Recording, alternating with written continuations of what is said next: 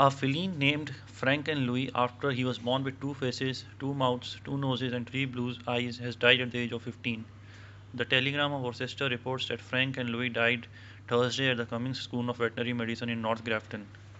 The cat's owner, Marty Stevens, said the cat lost a battle of life to cancer.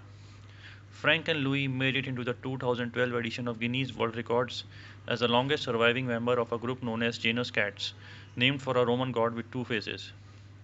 Janus cats almost never survive for even few days, making the long life of Frank and Louie more incredible. Most Janus cats are often abandoned, killed, or even eaten by their own mother.